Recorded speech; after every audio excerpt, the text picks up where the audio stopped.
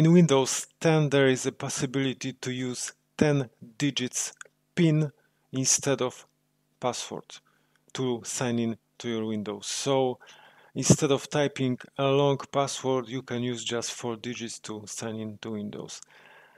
How to do it? Now I have uh, my password to Microsoft account. I sign in and I create a PIN to sign into Windows.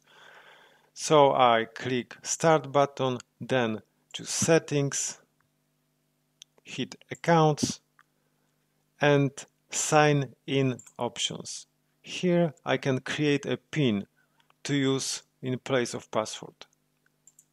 Click Add,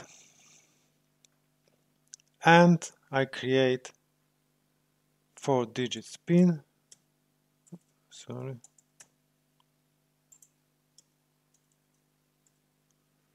Click OK. And that's it. Let's try it. Let's try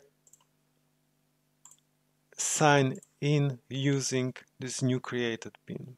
So I just sign out. And you can see there is a pin. So I type four digits pin. And that's all. I sign in using pin instead of password Please leave a comment, visit my website itesbjerg.com and thank you for watching.